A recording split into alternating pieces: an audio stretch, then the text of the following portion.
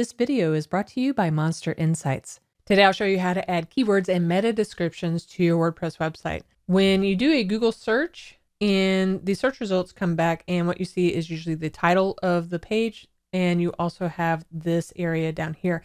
This is considered the meta description. And the reason why you want to create your own meta description is you're wanting to encourage people to click on your result versus someone else's in the search results.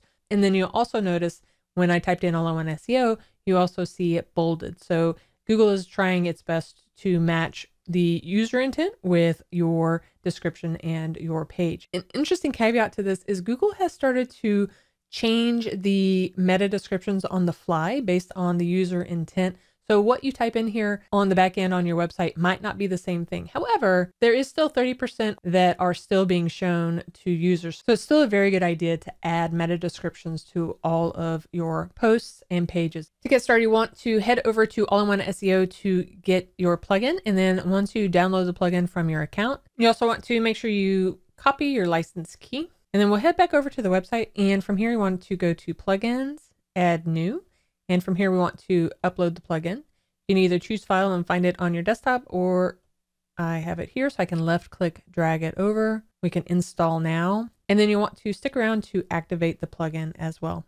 Now we need to go head over to All-in-One SEO to add a license key. Scroll down and let's paste our license key in here and we'll connect. Once it connects, everything looks good and we're good to go. Then there's a really cool feature that will happen. You can launch the setup wizard and I'll have a full blown how to get started with all-in-one SEO where I walk you through complete step by step on how to set it up. But for this, it's a real simple process. Once you go through the wizard, we can finish setup and go to dashboard to get started with our meta descriptions. In fact, we recommend adding the meta description to your posts, to your pages, to your homepage, which is the overarching idea of what your site is about you can add that as well. And then if you have categories and tags indexed and being shown in search results, then you'll want to have meta description there as well. As far as meta keywords, most search engines have really stopped using that except for the Russian search engine Yandex. So you can still use it. It doesn't harm your site to use it, but by and large, most search engines don't. Now, next we want to turn on our meta keywords. So to do that on the left, we're going to search appearance. And from search appearance, we want to go to advanced and then scroll down to say, yes, let's use the meta keywords. Once we say yes to this, then we also see a few other items like using categories for meta keywords, tags. This is up to you on whether or not you want to use that. We'll scroll down and save changes.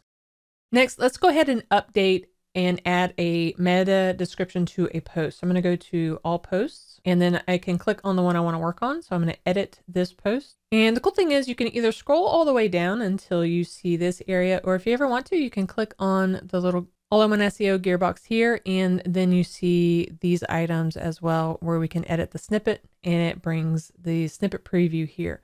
So from here, we can change the post title as well as the meta description. So a couple of different places that you can go.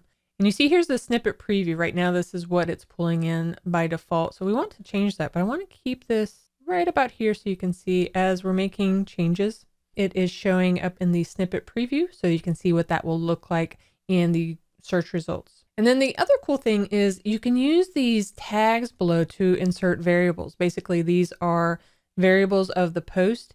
And if you click on view all tags, these are all of the variables that you can insert. And they're dynamic, meaning anytime this changes, for instance, if another author comes in and takes over for this blog post, it'll change to their name. One thing that is really cool for this is current date or current year. So a lot of times we'll say the best themes for WordPress 2020 and we'll put that in the description or the title. Using current year, it will automatically update that once the year changes for the next year. So really easy way to add these tags, these dynamic tags that automatically update the information for you. So that's for adding the meta description. And then you can come up here to advanced. And here is where you can also add the other keywords that you want to do. So just type it in and then press enter to create it. Note these keywords, the meta keywords are completely separate from your focus keyword. So if you want to get recommendations on how to improve your focus keyword of the title, then you can do that under the general area. Once you're finished with everything, make sure you update that. And now you have a new meta description. Now you'll also want to do this to your home page. To do that, we'll head over to All-in-One SEO and go to Search Appearance, Global Settings. Make sure we're on the Global Settings tab and scroll down until you see Home Page. This is the current preview that we have. To make changes, you you might either see this where you can edit your homepage settings, or if you don't, you can just change it right here. We're gonna, I have a static homepage, so I'm gonna click on Edit My Homepage Settings. And from here, I'll just scroll the way down my meta description. And I want to add a tag simply because it's much easier to add tags and let them dynamically update rather than manually adding things in here. Once we're finished with that, we can update that. And if you use categories or tags and you index those, then let me show you how you can update the description for those. For categories, we can go to posts, categories, and you see all of our categories associated with this. We can click on edit and from here, we can scroll down and we now have category title as well as the meta description for this. Make sure we save changes and now that's good to go. You can do the same thing with tags just over under posts, all posts, we have tags. You can update any of these as well. And you notice that AIO SEO details, they give you a really good clear indication of what all ne- still needs to be filled out for your title as well as for your meta description. You can simply go through here, see which ones still need to be updated, and then you can update those. And then once you start improving the performance of your pages and getting searches and clicks through Google search results, one of the best things to do is install Monster Insights that will give you up to date information on just how your website is doing. Monster Insights connects your website with Google Analytics and this tells you everything you need to know about how your traffic is doing, how many referrals you have, your top countries, and so much more. To get started, just head over to monsterinsights.com and make sure you use promo code WPBVIP to get the best discount on Monster Insights.